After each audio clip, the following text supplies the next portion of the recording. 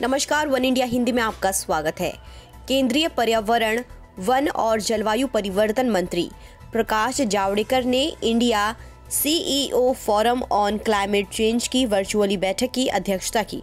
उन्होंने कहा कि जलवायु परिवर्तन एक बहुत ही महत्वपूर्ण मुद्दा है और इस पर वैश्विक कार्रवाई की आवश्यकता है। हमने पेरिस में घोषणा की है कि हम उत्सर्जन को 35 प्रतिशत तक कम करेंगे। बैठक में उन्होंने कहा, जलवायु परिवर्तन पर भारत बात कर रहा है।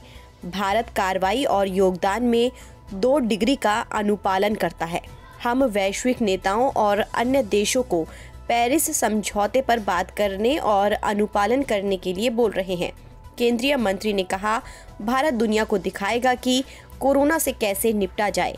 जावड़ेकर ने कहा कि भारत में कोरोना वायरस की कोई दूसरी या तीसरी लहर आने की उम्मीद नहीं है।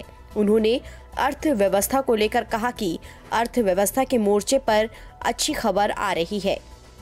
Is very important issue to be discussed world over and world action is needed on this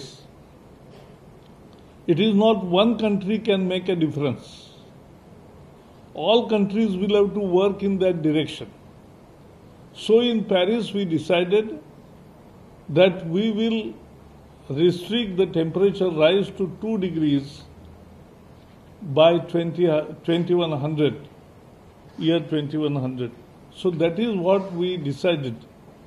And for that every country did declared the nationally determined contributions. India is 2 degrees compliant in action and in contributions and therefore we are asking world leaders and world uh, other countries that they also should walk the talk and they also should be compliant with the Paris Agreement and that is what is needed today.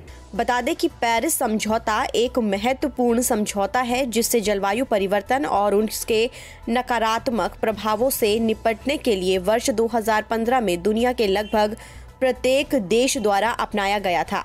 इस समझौते का उद्देश्य वैश्विक green house gas उत्सर्जन को काफ़ी हद तक कम करना है, ताकि इस सदी में वैश्विक तापमान वृद्धि को पूर्व औद्योगिक स्तर से दो डिग्री सेल्सियस कम रखा जा सके। फ़िलहाल इस खबर में इतना ही। देश और दुनिया की तमाम खबरों के लिए आप बने रहिए वन इंडिया, हिंदी के साथ।